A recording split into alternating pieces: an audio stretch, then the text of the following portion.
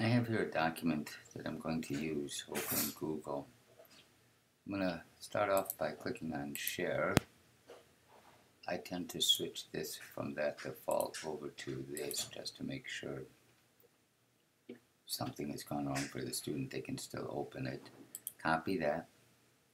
Done. Go back to my assignments. Set up my new assignment. It's going to be copy on uh, link. Going to have a description here. Some points. It's going to be file upload. Save and publish.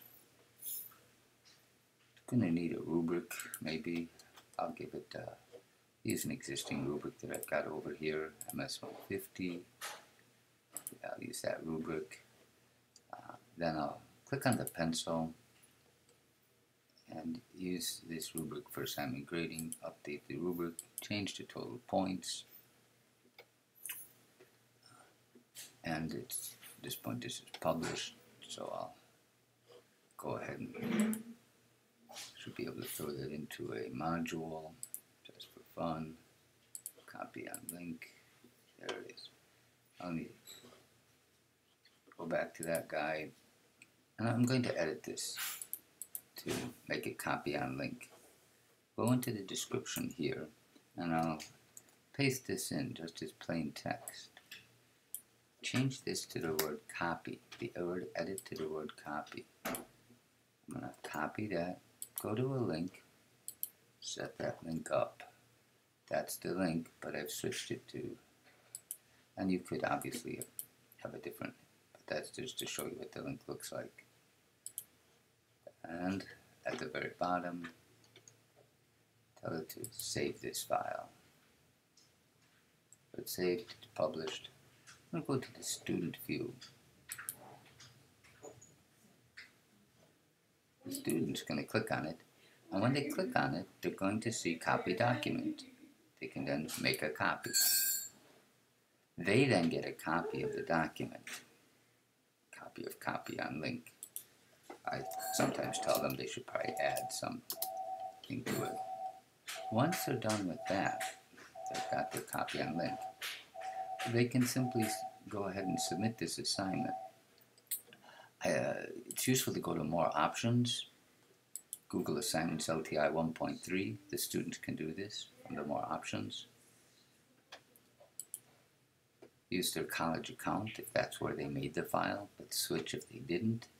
There's my file I want. I say add, attach. It's not yet submitted. I have to go here. It's uploaded but not submitted. Submit assignment. Now the assignment does take a few minutes to come across that LTI link. This is not an instantaneous process. So you'll see that this kind of spins for a while and it will be available in a few minutes from my experience. But that's the student's document is now is now submitted. And the last piece will be for me to uh, mark that assignment. And for me, I'll be marking it from the SpeedGrader. Now, it may not show up here yet. It does. If there is a delay between submission and processing and, and display in SpeedGrader. As I say, it's a few minutes. But at this point, I can now use my Canvas rubric to mark the assignment.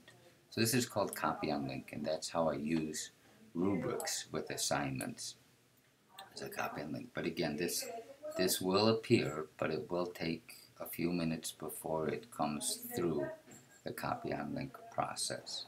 It won't be available right away, but it does work, and I do use it. Uh, the other option, of course, they could download and upload their file uh, from from here. That's a, a, separate option, and they of course can submit by any other means that they, they, they wish to. But if you're trying to use these Google assignments, this is the way I use Google assignments: is a copy on link, and the key is there. There is a page at uh, Google. Try to get the link in below. Uh, describes this process as being the way to use SpeedGrader with uh, with your drive files. Thank you for watching.